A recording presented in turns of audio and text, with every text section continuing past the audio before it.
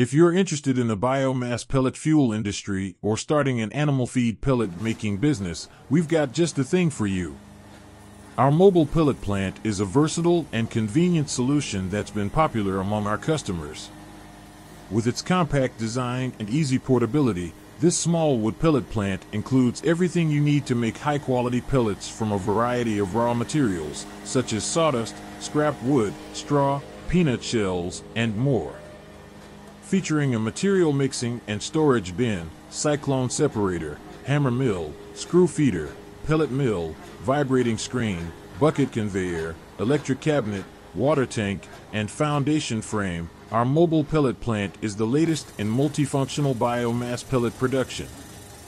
We've integrated advanced foreign technology and tailored the design to meet the needs of our customers, resulting in superior performance and user-friendly operation.